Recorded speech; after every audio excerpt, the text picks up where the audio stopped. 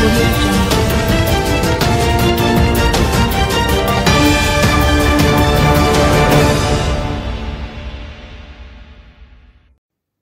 in St. Attacks succumbed to injuries.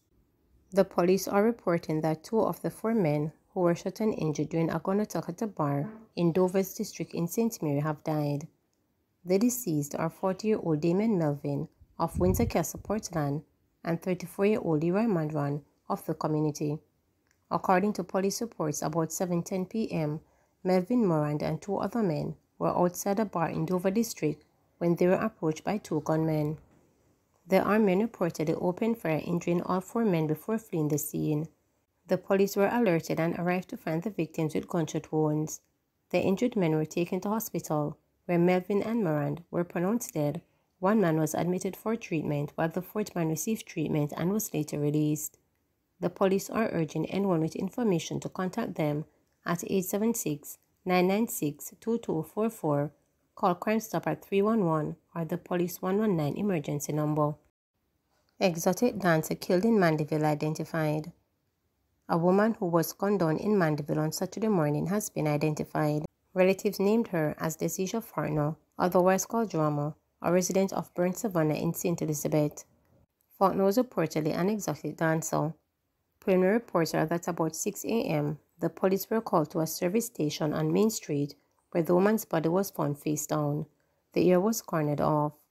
Police theorized that a woman and a man were walking from a nightclub when, upon reaching the service station, they were attacked and shot. The injured man sustained gunshot wounds to his upper body. Police theorized that the man was the target of the attack as he was also shot during a shooting incident in 2022 in Greenvale. Two men were killed in that incident. I am fine. Pastor who collapsed at policeman's funeral was overcome with grief. Pastor Paul Norman, who collapsed while preaching at Saturday's funeral for Constable Richard Fairclough in St. Ann, says he is home and doing well. The service was held at the Oaches Baptist Church. Norman, a pastor of the Kingdom Lighthouse Apostolic Ministries International, says he was overwhelmed with grief. I was okay until I started to sing the song What a Day That Will Be, and the overwhelming reality of the loss struck my mind, and I lost consciousness. I recovered shortly after. I felt better before I left the church building, he said. He added, the Jamaica Constabulary Force JCF medical team said that I was okay, but then suggested that I visit a doctor. The doctor's report stated that I am fine, and it's just that I was overcome by a sudden rush of grief. Members of the congregation were visibly worried as the incident brought an abrupt end to service. Norman started to stumble while delivering his message. He was whisked away by the JCF medical team for treatment. In the meantime, Norman has remembered Constable Fairclough as an amazing person. He was a kingdom builder. He was attentive to the various aspects of the ministry he shared. So many of us have voiced notes of encouragement and inspiration and prayers from him. He would call persons who attend Kingdom Lighthouse and pray for them over the phone. He loved to pray and would spend hours in his car under a cherry tree at church, praying or inside the tabernacle all by himself praying. Constable Fairclough, 45, was shot dead in St. Ann in April as he assisted a woman who was being robbed. Videographer accused of raping teen he reportedly met on Instagram. A videographer who reportedly met up with a teenager he met on Instagram and then allegedly raped her has been charged in relation to the incident. The incident is said to have occurred in Brown's Town, St. Ann on Tuesday, June 4. The police have charged 26-year-old Change Thomas of Philadelphia Brown's Town in the parish with rape and abduction. Reports are that the complainant and Thomas have been communicating via Instagram since May 15, 2024. It is alleged that upon meeting, Thomas forced the teen to a bridge and assaulted her. He was subsequently charged after being pointed out by the complainant and a statement given. Westmoreland Higgler charged with murder.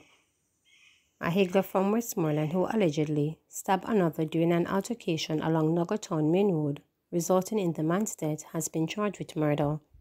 Charged is 32-year-old John. Beckford of the community. The deceased has not yet been identified. According to the police, on Wednesday, June 5th, around 8 p.m., Beckford and another man got into an altercation which escalated. It is alleged that during the fight, Beckford used a knife to inflict several wounds on the man's upper and lower body. The man was rushed to the nearest health facility where he was pronounced dead. The police said Beckford subsequently surrendered to the station on Friday, June 7 and was officially charged. Man charged with murder of three-year-old had a history of mental illness and assault. Devon Williams, the 33-year-old laborer from Page, who was charged with the murder of three-year-old Asher Campbell and wounding six other persons on May 29, has reportedly had previous legal troubles with similar offenses in the United States since 2018. Williams was first diagnosed with a mental illness in 2017 after being admitted to hospital with a stab wound to the head. Scans confirmed that he was missing brain material. According to a psychologist who testified in his 2019 case, Dr. Andrew, Williams became delusional, behaving as if he was a prophet and that God spoke directly to him. The doctor stated that Williams was also diagnosed with cannabis use disorder and schizophrenia, which resulted in hallucination, delusions, and false beliefs. Although he was hospitalized and received medication, Williams reportedly stopped taking it. In 2017, Williams was found not guilty of assaulting another inmate at the Hampden County Correctional Center. He had reportedly become delusional, believing that the inmate was part of the Mexican cartel sent to jail to harm him. The judge ordered Williams to be sent to the Bridgewater State Hospital for a month. Williams' family is said to have reached out to the Springfield District Court in September 2018 and obtained a judge order for him to receive psychiatric evaluation. His mother was concerned that her son would hurt someone if not hospitalized.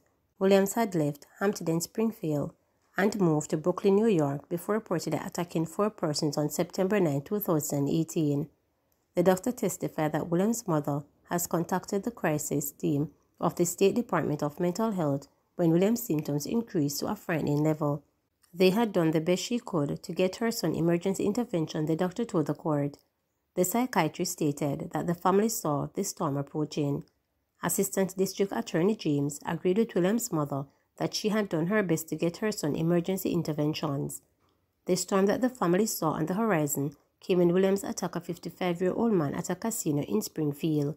He was charged with armed assault and battery with a dangerous weapon, shot put, causing serious bodily injury and assault. He also randomly assaulted four men three of whom were in Springfield on September 9, 2018. The psychiatrist testified that Williams was paranoid and believed he had a divine purpose to save individuals from a sex trafficking ring. He attacked random people based on what he thought he saw on their faces. Williams thought he was running around the city saving people. On Thursday, June 6, following an ID parade, Williams was charged with murder, three counts of wounding with intent, and six counts of wounding. Cabinet to approve 250 million contract for a new bridge in Spring Village, St. Catherine.